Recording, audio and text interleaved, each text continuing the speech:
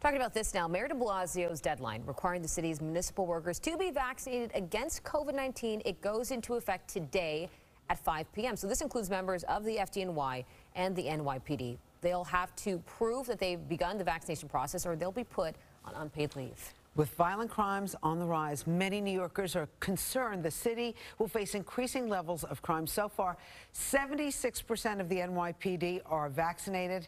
But is that enough to keep us safe? Police Commissioner Dermot Shea joining us this morning. Nice to have you back on Good Day New York. No, it's great to be here, guys. So, Commissioner, you have been pleading with the force to get the vaccine before 5 o'clock tonight. Are they listening? What proof do you have? Yeah, they. I think they are. And, you know, I think human nature, people put things off. Uh, as of this morning, 80% now, Rosanna. Um, it's going to be a busy day today. We did over a 1,000 yesterday. Today's the last day that people can collect the extra $500, so I have every belief that today is going to be very busy.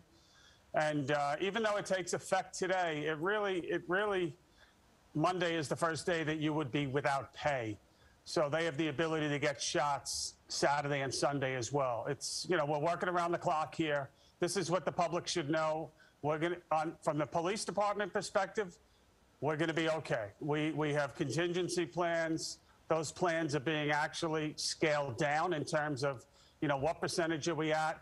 How would we address it to keep the cops on the street rolling? From my perspective, you know, we have some unanswered questions still with reasonable accommodations. Um, we, have, we do have thousands of people that have put in for them, but they, they are subject to testing and continue to work. So um, well, a little better position today than we were, let's say, a week ago but the planning continues. We'll be okay. All right, but but there are some precincts that have less than 50% vaccinated, including Mayo precinct in Brooklyn, the 68th. Also, I heard the 26th precinct. They also have very low vaccination rate. What are you going to do come Monday? Yeah, listen, Rosanna, we're, we're in good shape. I don't know where those numbers came from, and they're certainly outdated if we, we are looking at individual precincts, really individual shifts at this point in time uh, and we'll move resources around. But as I said, the key thing is here we've had we've had significant increase in people getting vaccinated in the last three days, and, and that's the good news here. So again, for, for New Yorkers, you know what we should be talking about right now is the seven shootings that happened in New York City yesterday, and the crime that we still have to deal with. But on the vaccination front, I believe we're, we're going to be okay. Which is why you certainly need every single police officer out there protecting the city. But Commissioner Shea, I do want to ask, take us through Monday when you have an unvaccinated uh, NYPD personnel show up to the precinct. Is someone checking their, you know, vaccine card or can they work? Who's turning them away and how's that process look? So what we've done, and we've done it for a while now, um, anyone that's vaccinated, we have a computer system where they upload those vaccination uh, facts into this system. So it's it's computerized on our end. There's no doubt it's going to be you know it's going to be a, a, busy day Monday for sure. But anyone coming into work that's not vaccinated, that doesn't have that pending um, reasonable accommodation request that was submitted by Wednesday, uh, they would be sent home leave without pay. But again, the contingencies are there. New Yorkers should not should not be worried about this because on the PD side, we have people working throughout the weekend. We have myself, uh, the executive team, having whether it's calls or sitting around this very table that I'm at each day this week.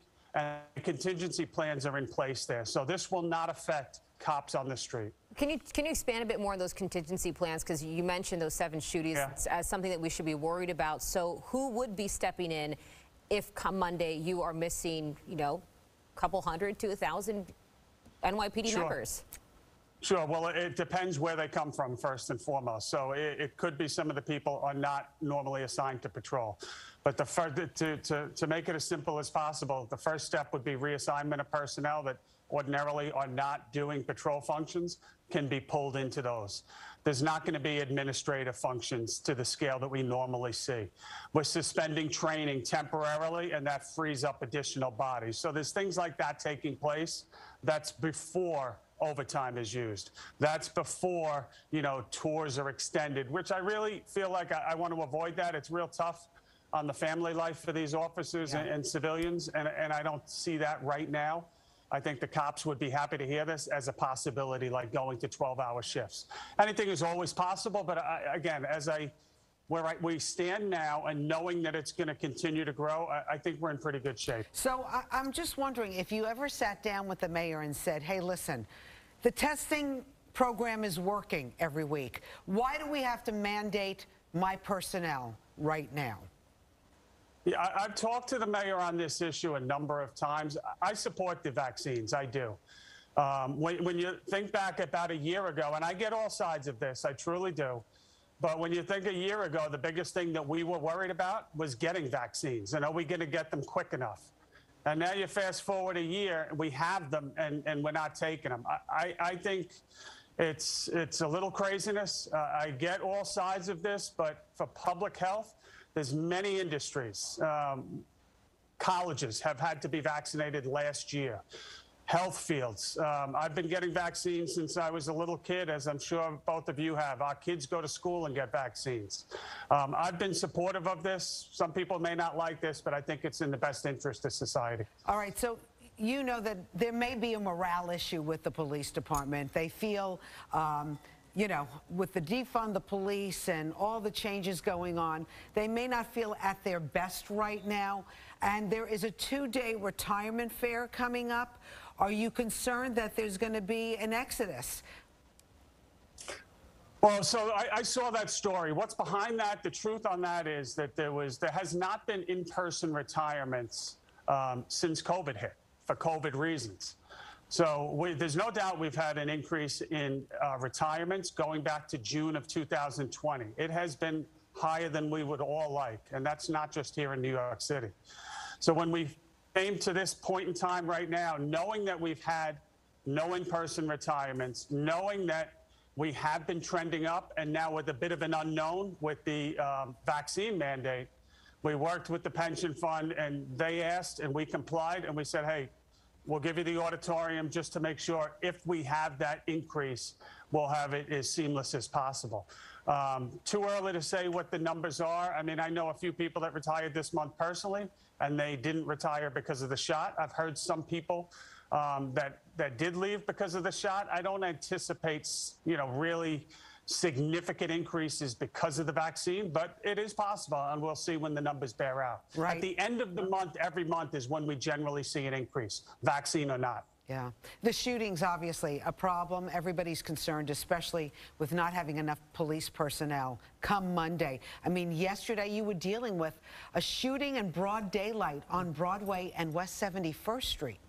3.30 in the afternoon, an innocent bystander from out of town. Right next to elementary school. I know, right next to, I mean, Yep. what is going on? Well, listen, a 71 year old man from Florida that comes to New York City, crossing the street, shot. We've had this conversation before. Uh, you know, to everyone that was defunding, that was abolishing last year, the silence right now is deafening. And, and, and whether it's a legislator that refuses to fix broken laws or, or those that were tweeting, abolish the police, uh, you own this. And they need to step up and make the fixes that New Yorkers deserve. Any, Wow. do- is Albany listening to you? Any, any kind of, I, I think we've seen small progress. You know, you saw members of the city council recently signing a letter and sending it to Albany. I mean, this they're hearing it on the street every day, and that's what that's what it takes. I think just you know, New Yorkers continue. I mean, I did a Citizens Police Academy graduation last night here. Every, literally every night, you, you, I'm hearing from New Yorkers across the city that are saying the same thing. We want more police. We need more enforcement. We need people carrying guns to be held accountable. I'm hearing it from parents, parents of kids. We, we recently had a, a child, 16 years old, who's been arrested four times in 10 months for a gun. If that doesn't ring and resonate with our legislators, I don't know what will. We need action. We need it now. And let's fix this as quickly as possible. And, and Bianca, you asked about the morale. You're right. It's been a tough time in law enforcement. But later this morning, I'm going to be at a Medal Day ceremony for officers that have done amazing acts of heroism or been injured in the law, line of duty. Several that have given their life in the line of duty. So, the one thing New Yorkers should know we started with it, and I would finish with this is that when the bell rings, we will be there for New Yorkers. And we will be there today. We will be there tomorrow. We will be there Monday, vaccine or not. So, New Yorkers should know that. Police Commissioner Shea, thank you so much. We thank the your police force as well for keeping us safe in New York City. Uh, and Thank we'll- you, guys. And we'll be keeping an eye on Yeah, things. we're loud and clear. Happy. Halloween. All right. Thanks so much. We'll be right